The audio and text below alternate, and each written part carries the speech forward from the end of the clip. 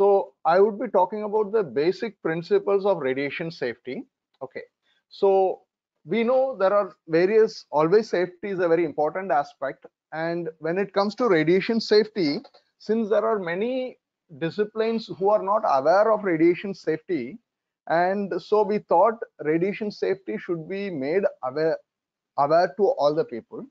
So with this, I thought I'll give you a brief overview about radiation. What is radiation? The units generally used, and we know radiation effects, it is useful. At the same time, we have to have regulations and documentations about respecting the threshold doses for a safe radiation practice in a medical organization. It's not only confined to medical, it's also for industries also, where we use radiation for the purpose of metal testing and other things. So I would be talking about the uh, principles of radiation safety, the permissible dose limits as radiation workers and public what we are entitled about. And we will talk about how the radiation is monitored in a medical environment and what are the regulatory aspects. So when we first come to the thing talking about radiation what we always remember is conrad william roentgen he discovered x-ray by an accidental experiment while doing with this cathode ray tube. Okay. So he just saw that invisible radiation and called this as x-rays and very soon he demonstrated that we can use x-rays to order for investigations to see a broken bone or a lung case for a pneumonia or a mammogram without cut opening the patient. So that invention became a very novel one and he was awarded the nobel prize in 1901 so when we talk radiation all radiations of electromagnetic radiation like light waves and everything have a common principle which is they all travel with the same velocity of light which is 3 into 10 to the power 8 meter per second. C, the velocity of light C is equal to mu lambda. Mu is the frequency and lambda is the wavelength. So as since we know the, the velocity is constant, the wavelength and the frequency will be inversely proportional. If the wavelength is high, the frequency has to be lower. If the frequency is high, the wavelength will be low. So I will explain in the next one. Like if you look into this thing, the electromagnetic spectrum covers from radio waves to microwaves, infrared, ultraviolet. So they cover the infrared, ultraviolet. So up to ultraviolet radiation, these things are classified as non-ionizing radiation. And these non-ionizing radiations are used in power lines, radio, microwave, and everything. So although safety is important here, it's not that uh, conscious like ionizing radiation because the moment we come beyond the ultraviolet the x-rays gamma radiation and the cosmic radiation they have the ability to ionize radiation which could be harmful and is certainly to be monitored well so now if you see when the uh, when the light waves and all the wavelength is quite larger so as we go on in the spectrum towards the ionizing radiation the wavelength decreases and the frequency increases. As frequency increases, the energy of the radiation increases. And since the energy is higher, it has the capability to knock out an electron and ionize, and it can also change uh, the DNA structure, which can provide a lot of catastrophic effect. So now let us ask this question, can we get rid of the radiation? If we look into the aspect, there is always natural radiation resources like potassium and many other isotopes which is embedded in the rocks and in the living organism by which we always have some amount of background radiation. And one of the major source of background radiation is the cosmic radiation which is beyond the terrestrial. And the atmospheric layer is a protective barrier for us. And since the atomic uh, the atmosphere is not having a uniform density we have a variation in this cosmic radiations. Plus because of the uranium which has a very very off life of radiation which is in the billion and million years uranium and thorium there is a radium again isotope which has 1600 years of off life which has a counter product which can come into a radon gas. So these things invariably form some amount of background radiation in the food what we consume or on the water that we intake so this amount of radiation almost has been documented by the global organization as the average annual dose is 2.4 millisievert. I will come to this units a little later, but please remember this for radiation safety, we call them in terms of millisievert. Okay. And when we talk 2.4 millisievert, this is what is the background radiation contribution for an average. So you could see from the cosmic radiation for the diet what we inhale or the air what we use or from the terrestrial radiation all to put together gives a 2.4 millisievert per year on an average.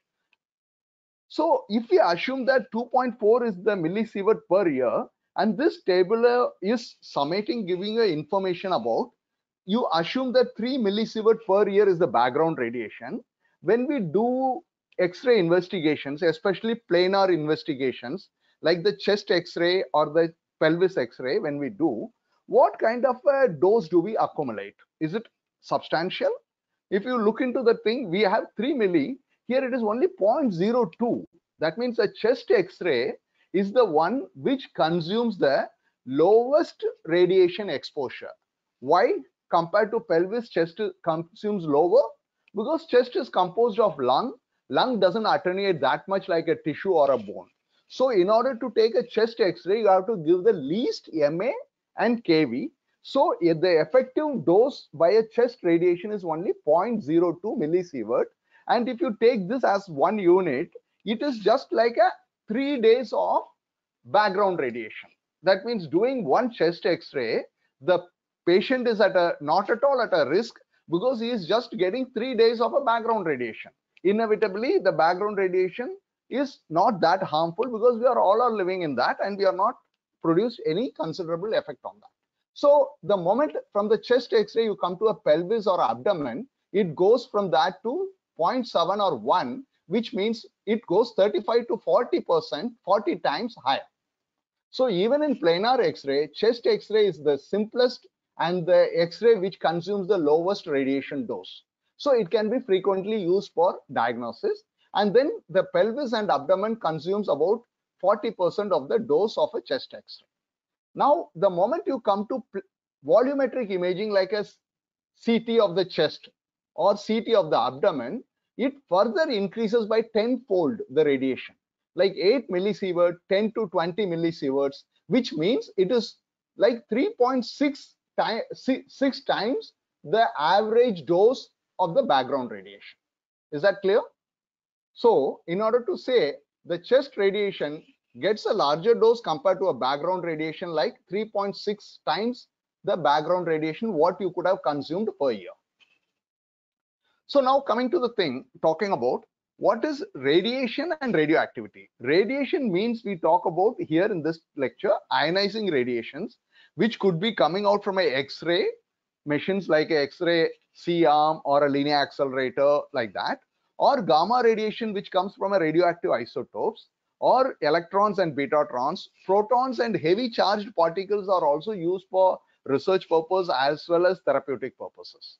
So radioactivity is a natural phenomena which we have already learned in many of our textbooks that it radioactivity has two kinds. One is man-made and another one natural resources. Natural radioactive materials generally have a very long off life and we have to live with that. But of course, the background radiation, when you compare it uh, from Kerala to uh, Kashmir, the Kerala part has a larger background radiation because of the rocks are rich in thorium content compared to the other parts of India. Coming to radioactivity, we have to remember one thing since it's a spontaneous emission, it can, it spontaneously emits till it comes to a stable stage. During that, it produces either gamma, beta, or alpha, and it comes to a stable stage by reaching this. And if you assume that in this graph, if you assume a radioisotope just having a half-life of eight days, what is half-life? Half-life means the original activity to be reduced off of its initial activity the time period taken for the original activity to be reduced to half of the incident activity. So if you assume here that this was having 16 balloons and in order to reduce it to four of its activity, it took eight days.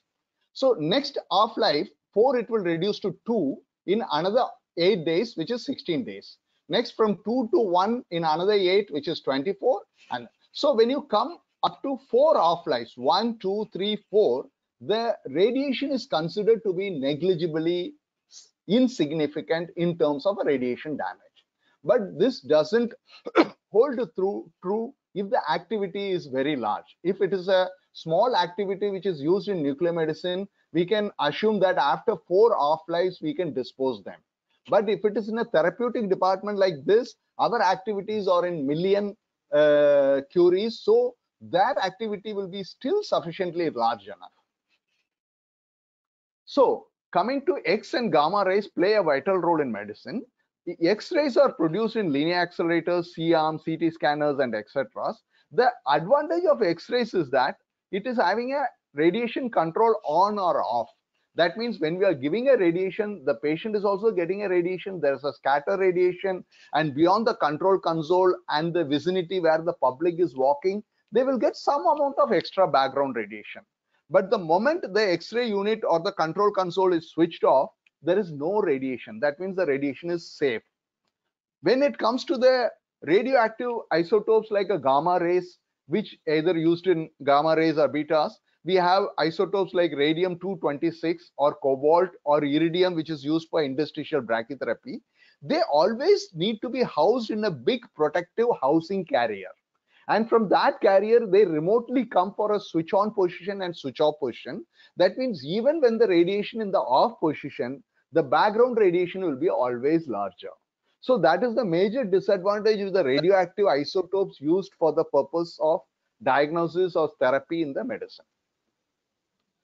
And just this slide to illustrate again, when we talk about different types of radiation, alpha, beta, or gamma, we have to remember that alpha particle is heavy charged particles which can very well attenuated in a thin piece of paper. When it comes to beta or electron particles, a wood or a perspex material will be a good enough material to attenuate. Whereas a gamma or a X-rays can even pass on through any concrete materials and high density X-rays, they can interact with high density materials in the concrete with steels or something to produce neutrons. So when you have a very high charged X-ray machines, you do have neutron barriers to control the background uh, radiation so that the people who work beyond that radiation environment because radiotherapy or nuclear medicine and radiology forms a part of the hospital. So the radiation safety takes into consideration though the public works the adjacent areas, the uh, patient public or the uh, professional radiation uh, medical fraternity working nearby areas are safe. So when it comes to another question, sorry. So another thing is, does all the radiation, their intensity may vary, but beyond that, for a same amount of intensity, does their biologic effect, effectiveness is the same? The answer is no. Different radiation has different biological effects, mainly depends upon the density of ionizing radiation. Uh, in one aspect, in the physics aspect, we call it LET, linear energy transfer. That means in a cubic millimeter, how many radiations can pass through, that is called as a LET. And in a biological term, we call it a biological e equivalent, relative biological effectiveness, RBE. So this RBE will be changing with different type of radiation. So for X and gamma, it is one. For beta, it is one. Beta means electrons and beta where we use. For neutron radiation, it can range from 5 to 20. For alpha, it is 20. That means what we have to keep in mind is that if a patient is getting a neutron therapy, the doses would be much less for the therapeutic. And similarly, if you are getting a dose for by incident, you have got some neutron contamination or something, the biological effective will be 5 to 20 times larger. So for radiation safety, it is a very important aspect to see what kind of a radiation exposure a person has and what its biological equivalence would be in terms of to assess the hazard part. So since we are talking about radiation, we also remember some of the things when we talk when we learned about radioactivity. The Madam Mary Curie discovered the radioactivity and on her name the unit Curie was given. So Curie is a unit which is used and the SI unit is becquerel. For radiation X-rays, we use Rontgen, Rontgen, Rontgen, and the SI unit is coulombs per kg for dosimetry purposes. But this Rontgen is a exposure radiation. That means from a X-ray, certain radiation is are coming out and it is an exposure. But after exposure, the absorption in the body will be different for bone, tissue and lung. For lung, it will be 0.4 times. For tissue, if you assume it is 1, for bone, it could be vary from 1.4 to 1.8 times attenuating, which means the absorption done on bone would be larger. So we have a, another dose which is called absorbed dose in the form of RAD or gray used in the therapeutic purposes. Now, this is okay for practicing. When we come to radiation safety, we have another term what is called dose equivalent where we call it as a REM, which means rad equivalent men. And the SI unit is sievert. You may remember that when I talked about the background radiation, I tell it is about 3 millisievert per year. So now what radiation can do? Radiation could be beneficial when we used in radiotherapy or radiodiagnosis or nuclear medicine. It is also used in nuclear reactor to produce radioactive isotopes. Industry also it has been used to test uh, materials for cracks and other things. But at the same time, if they are not being used properly and there is a thing, huge amount of radiation can cause death. It can have cancer induction and long-term radiation effect can be producing genetic effects and nuclear weapons could be created from these radioactive isotopes as nuclear bombs. So, is it dangerous? Yeah, radiation is dangerous. If we don't monitor it and have a safe practice, if the doses are larger, it can form cataract, it can have thyroid diseases, it can have functional changes, brain tumors, cardiovascular changes, reproductive health. So various things it could have. So now you look into this, this graph this uh, chart, which I generally like it because here the green portion gives the radiation doses which are within the tolerable regions. Like if you look into people who are often flying on the aircrafts, example, the pilot, by virtue of going above the uh, atmospheric pressure, he always gets a larger amount of a background radiation like 9 millisievert per year. So and the cruise. So even up to 20 millisievert, up to 20 millisievert, it has been considered to be tolerable and there is no effect, which means even 1% also will not, no one will have a cataract or any other cancer induced disadvantage of a hair loss due to a dose up to 20 millisievert, not even 1%. So from there, when you come to moderate amount of radiation doses, like in the nuclear medicine or anywhere, even in radiotherapy, if there's a radiation source struck or some radioactive isotope was being removed by mistake by a vendor and given it to a scrap dealer and it got into the public or anything, these radiations, then there's a possibility of having a radiation dose, something like this, 100 millisievert to 1000 millisievert. And here you can have some mild effects of intermediate effects at putting a little risk. But the doses beyond 200 millisievert, these kind of a doses we have seen in the uh, Japanese uh, radiation accidents. And those history has taught us that these kind of a doses could lead to fatal, fatal effects like 10,000 will have a fatal effect and 5,000, 2,000 have really produced tremendous sickness to the patient, radiation acute sicknesses. And Radiation by virtue, if it gets to a skin, it could have a skin burning. If it gets to the marrow, the uh, cells will interact with the DNA and change the characteristics and it produces a reproductive way. Okay, so now we know the radiation effect. When radiation effect again, we can classify into two types of effects. One is deterministic effect when we say deterministic effect, it has a threshold. You see the curve up to a particular value, there is no effect. And after that, it forms a sigmoidal curve as a function of increase in dose. So the incident of the effect is in the y-axis, the x-axis is dose, and as the dose increases, the incident of the effect will form a sigmoidal curve. And this below the threshold dose, there is no effect. And even beyond this threshold dose also, it will be less than 1% of the persons may have such a kind of a incidence. It's very less chance still, but for the safety point, we have to respect this threshold dose. So beyond this threshold dose, if it have, it can have a hair loss or cataract or a skin burn. And these are generally called a somatic effect. And this effect increases with increase in dose. The other effect is stochastic effect. Stochastic effect means it doesn't have a threshold. It is linear and this can have late effects and generally cancer in secondary cancer induced or a leukemia or a hereditary like a breast cancer coming up to the second or the third generation could be an effect of stochastic effect. Here, either it happens or it doesn't happen. It doesn't have that like a the effect doesn't increase the severity of the effect doesn't increase with the magnitude of the absorbed dose. Okay, so no threshold for stochastic effect. For deterministic effect, there is a threshold.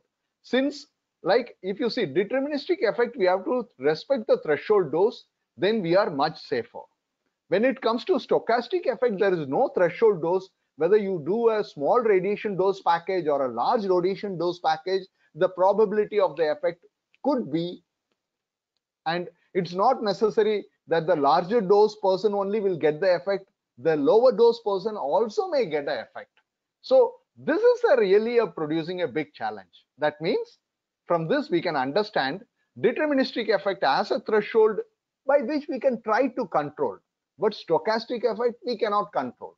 So the radiation safety principle taught us that we should prevent the deterministic effect by respecting the threshold. The stochastic effect we cannot do that way. So we have to do limitation and apply as low as possible we have to have the minimum radiation possible so this is where radiation safety is much different from the other safety. Okay, a fire safety or a bioethics safety is different from radiation safety because no radiation is useful. So we have to see as low as radiation possible for public as public and understand the deterministic effect and respect the threshold dose. For that, we have regulatory bodies like International Commission of Radiation Protection, National Council of Radiation Protection, and for India, we follow the Atomic Energy Regulatory Board.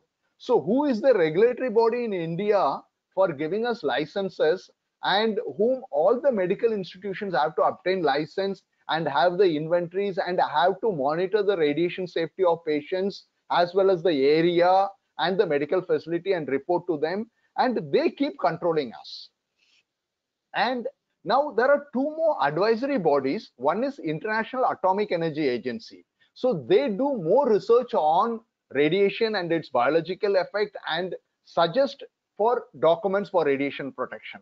And like that in India, we have Bhabha Atomic Research Center where, where they do have facility for making artificial radioactive isotopes as well as do a high-end research for medical as well as industrial purposes. Now I'm coming to the gear change that when we say principles of radiation protection, we have to first have a justification of a practice, whether the benefit is larger than the risk. If it comes to initial, you should always try to see whether an ultrasound or a MRI can be done. But we know MRI is very expensive and cannot be affordable to all patients. So you have to see like as i told a chest x-ray takes very low dose and it is not at all harmful because it's just a very small dose like 0.08 compared to 3 millisievert so it is very safe to advise a patient even five times or 10 times a chest x-ray in a year. But is it true to advise a patient of a ct chest or an abdomen 10 times a year? May not be because the dose is 100 times larger so we have to see what is the risk versus benefit. Again, when it comes to female, okay, do the female population who are at the stage of giving delivery to the children in the pregnancy period, do they get an X-ray done or no? They can have a chest X-ray done, but when it comes to abdomen X-ray, definitely you have to think it out.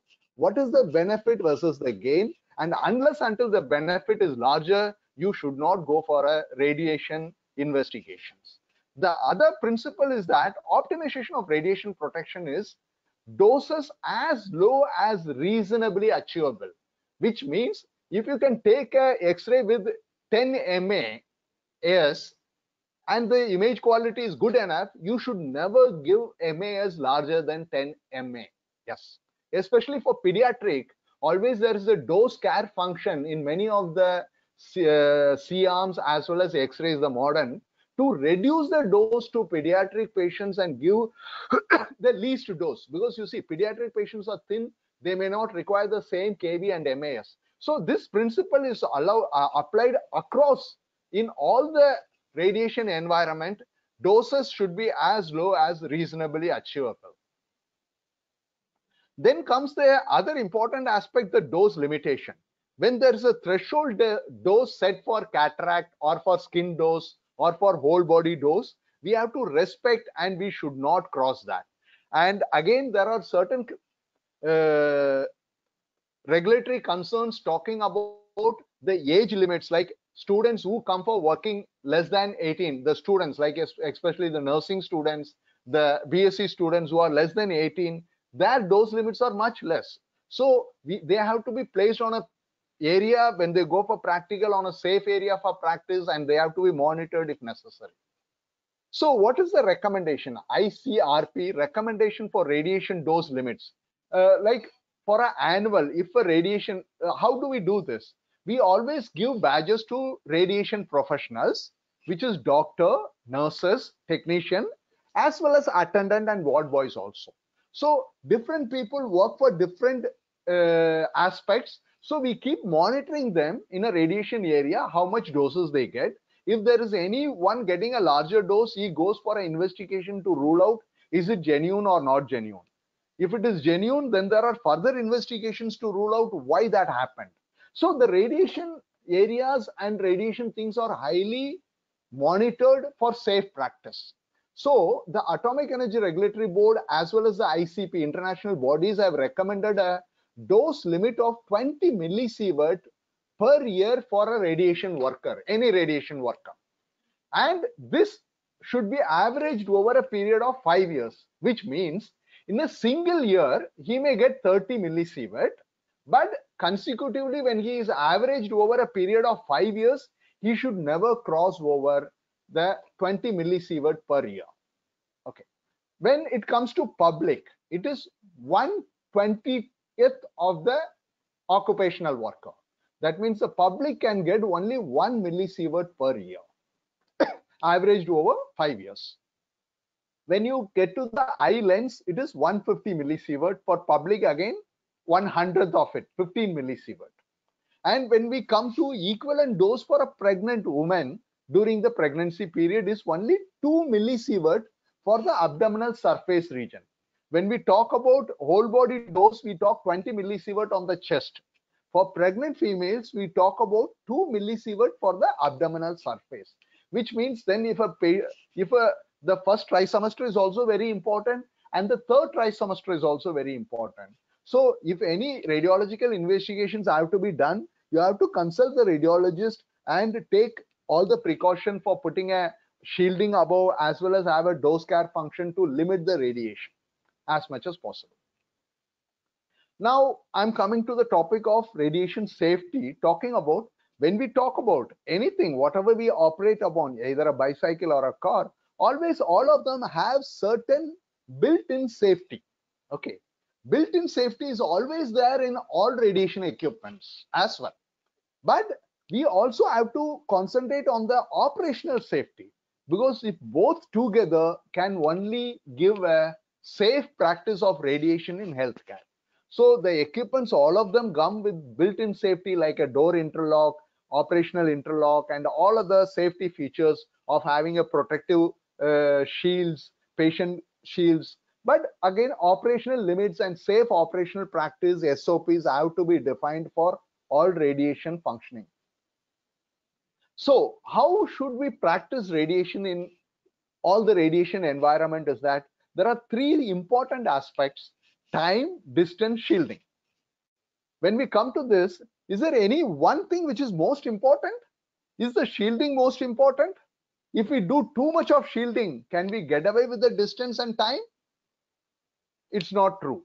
So all of them, shielding, time, distance, all three are effectively needed and three have to be optimized in such a manner. Like for example, if you're doing a fluoroscopy, I will explain it, that staying one meter away will reduce the dose much. But staying one meter away, you may not be able to do the functions when you're doing interventional radiology. So there you may have to compromise the distance. The moment you compromise the distance, then you have to have a protective shielding material, additional shielding material inside and try to keep the time as low as possible. So the total radiation exposure of an individual is directly proportional to the time that a person is exposed to a source, which means before starting the beam, be well prepared. What procedure you are going to do, what are the additional instruction you want to give to a supportive support staff, you first itself tell them, okay, when at this point in time, I would be asking for this, please give me immediately. And prepare yourself for the task and then start the procedure so that there is no time delay in the procedure for unnecessarily in between to organize something. Is that okay? Now the distance. Distance inverse square law. If you increase the distance by a radius of 1 r to r, the radiation intensity falls one fourth. If you have increased the distance two times and 3 r, you decrease the radiation to one ninth. So the distance you go more, the radiation inversely falls down like the half-life. Half-life also falls in the same pattern. But of course, we know for certain type of a, like when you are doing an X-ray investigation, it's very comfortable. Ask the patient to stand near the wall, come to the control console, which is like three or four meters and give a exposure. The staff who is giving taking a radiation uh, abdomen or a chest X-ray is completely safe. But when it comes to intervention, you cannot do that. So you would be putting a lead apron as an additional shielding material in order to protect yourself. That is why when in the fluoroscopy, you remember that you may need to use protective devices in order to additionally reduce the radiation dose to the radiation worker. Another important aspect one has to keep it in mind, radiation is coming from this X-ray machine and this beam is considered as a useful beam. Now, what are all unuseful? The radiation which gets into the patient and scatter. This is a unwanted radiation which keeps coming. So a radiation professional, either a doctor or a staff nurse who is close by will always get a radiation if they are doing an interventional procedure. So they need to wear a lead apron to shield that. Similarly, if a X-ray tube has gone for a servicing and the engineers didn't position the X-ray tube properly and put the shielding tabs, there is a possibility for extra radiation leakage from the apparatus of the source housing. So a complete quality assurance and quality control of the X-ray equipment after every repair is mandatory. So here in this, you could see that this X-ray tube, X-ray uh, C-arm, where you are doing a fluoroscopy evaluation to see there are lead apron patterns here so that the scatter dose from the patient is attenuated. Further, you will be wearing a lead apron to reduce the dose to here. And when you are wearing a lead apron, you will be always wearing a TLD personal monitoring badge, which I will tell you in the upcoming lecture, uh, upcoming slides. You will be wearing below the lead apron because the thermoluminescence dosimeter is to document the radiation dose what you have received, not the apron. Okay, similarly, you have bedside trolley with a lead glass. Have you heard about a lead glass? We always see a glass which you can see through.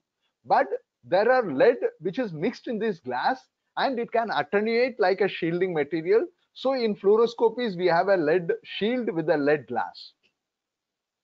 Now, for an ideal X-ray unit the room size should be at least 18 meters and the wall should be made of brick 35 millimeters and there should not be any windows where the radiation can scatter and someone can sitting adjacent to the x-ray installation gets the radiation dose. Plus the lead doors and the windows are always lead lined. They are 1.7 millimeter lead lined on the door for all x-ray eh, installations. Now coming to the shielding. If you come to the shielding for a x-ray installation it is only a brick wall but when it comes to nuclear medicine pet pet gamma camera or radiotherapy uh, a telecobalt or a linear accelerator the shielding is very large because they use a very large radioactive isotope of a very high strength. Okay. So these kind of units can the source is generally kept here and the source is housed housed on a uranium container which is much more shielded and safe for practicing. This rotates across. The patient is lying on the couch and this can be shifted up and down. And the couch rotates across the patient like a axial CT and you can treat the patient. So the shielding requirements are very stringent. This is this is a cross cut like this. I'm doing two cross cuts one this and one sagittal. This is a cross cut showing the maze wall. The person when you enter like this the radiation equipment is housed here the primary radiation beams falls here. So you see the shielding thickness of this. This can be around 1.2 meter to 1.5 meters or even 2 meters for a high energy mission these are around less than uh, 1 meter. So these maze walls a huge construction is very well needed for the purpose of eye shielding which we call it as a primary barrier and a secondary barrier. And if we look into the sagittal view, below is the floor and this is the uh, false ceiling. Like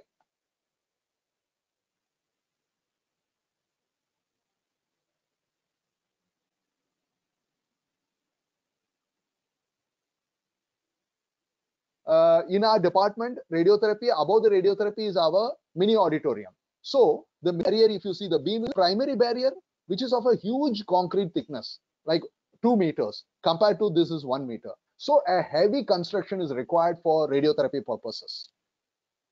Because this gets a cobalt pellet, which gets into BARC for an artificial radioisotope bombarded from a neutron. Cobalt 60 is cobalt uh, bombarded with the neutron to become radioactivity and it decays to nickel, emitting gamma and beta rays. So this radioactive source is housed here with the thick container of tungsten with uranium mixture. And this source due to a pressure me mechanism pushed here for source on and off position. When it comes here, the beam is treated here for the radiation. So there could be a possibility of a radiation source struck and many other incidents where people have to practice this very safely. I'm not going to bother about you with the entire radiotherapy practice. So coming to what kind of a practice we need. So don't stay unnecessarily in radiation area, which means I'm not asking you, please don't, do not come to radiotherapy. Okay, you are safe to come to radiotherapy and even once in a while you can go into a radiotherapy installation and see. But uh, I know a lot of anesthetists do posted on the radiotherapy equipment for sedation of the children during the radiotherapy procedures. So they come frequently, but they cannot be posted completely. If they're posted completely, we have to give them film badges and monitor the radiation doses. These are the regulatory requirements. Otherwise, radiation may, uh, even the control console, the radiation workers are as safe as the other population. Like I would like to tell you, we are monitoring the radiation safety for the uh, all the radiation workers. We don't see, we see a small increase of one millisievert extra for the radiotherapy department or a nuclear medicine department. Sometimes nuclear medicine is slightly larger than radiotherapy or radiodiagnosis because they deal with contaminated radiations. Although the radioisotope is of a small activity due to contamination process, sometimes they get a radiation. And even then the radiation is, I would say, half of the background radiation. On average, I don't see that they cross beyond 1.5 millisievert per year any radiation worker in this institute. Okay, so for this installation, you may be seeing zone monitors which are monitored to say that the radiation is safe or not. So when when you are entering a radiation department, you should see whether there is a survey meter and the survey meter is showing a off position. If it is off, it is safe to enter in. If it is not, it is not safe to enter in. So this is for general public and for radiation fraternity as well as medical fraternity to understand and adhere to respect all the monitor and door interlocks and other thing and see these symbols when it is x-ray is on there will be a radiation door interlock showing that the radiation is on. So now apart from this area monitoring you have personal monitoring devices like the tld tld is a thermoluminescence dosimeter. There is a lithium fluoride capsules. Three capsules are kept here. And this is weared on the badge like the chest for the radiation workers to know what is the radiation documented on them by working in this radiation environment. Okay. And for all radiation environment you will be seeing radiation symbols like this. And i will tell the specific definition and the dimension of the symbol in the last slide. So now coming to operational safety radiation equipments cannot be operated without certified or trained persons. And all radiation installations have to be monitored every monthly for radiation safe survey and personal monitoring by personal film badge services. And all the radioactive source has to be securely stored and inventory to be maintained. And there has to be a emergency preparedness plan in case of a radiation accident in radiotherapy or nuclear medicine. In radio diagnosis always there is not a major accident can happen but still all the equipment has to be monitored for leakage radiation and scatter radiation on a periodic intervals so when you talk coming about radiation monitoring, monitor individual doses regularly of a patient of a staff. Every three months, the staff is being uh, given a new badge, and the old badge goes to a respiratory research laboratory, and they read the personal monitoring doses and share with us. And these reports are available for all radiation workers. And this radiation worker records are lifelong. It is a cumulative exposure for their life so whenever they go from one organization to another organization, they have to disclose their personal monitoring film badge number and the personal monitoring institution number for them to add the radiation exposure for their cumulative exposure. It is a very important regulation by the Atomic Energy Regulatory Board that you cannot hide your radiation dose what you worked in any organization. So there are various types of personal dosimeters like a film badge, thermoluminescent dosimeters. And as these thermoluminescent dosimeters, we can assess only after three months because a radiation accident we cannot know immediately. So for that purpose, we have pocket dosimeters and bleepers, which will give bleeps depending upon the intensity of radiation. So these kind of radiation instruments are used by the radiologist, nuclear medicine specialist, technologist, and the radiation safety officer to handle radiation emergencies. And these personal monitoring TLD badges are worn by every radiation workers. And if you are posted in radiation area doing C-arm intervention, you should demand for a film badge and you should uh, wear it routinely whenever you are in the radiation area. And apart from the chest x-ray, you could also find the nuclear medicine people keep wearing some wrist and finger also.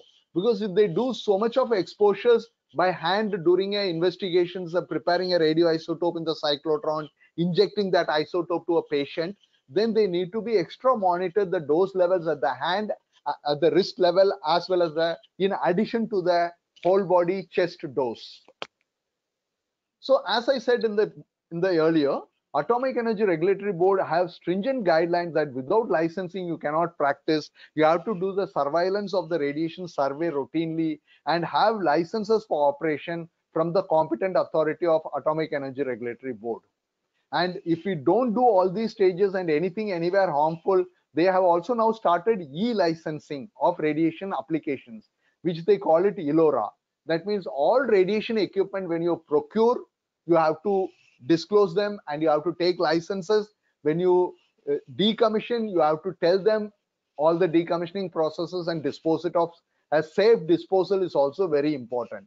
And all radiation workers have to be enrolled into the ELORA and they do surprise checks and they do come for uh, visits to have a emergency survey and emergency visit. And if they find anything they can penalize the institute and they can put a full stop to the entire radiotherapy or radiological or nuclear medicine services to stop till the things are in order.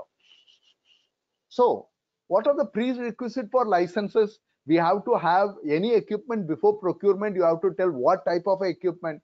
You cannot just take any radio isotope equipment anywhere. Those equipment have to be type approved by AERB and you have to approve the installation. You have to disclose the storage pattern. You have to confirm the facilities for the area and personal monitoring. That means a new institution if you are creating if you have not applied for TLD services and the survey meters they will never give you a permission to start even the x-ray.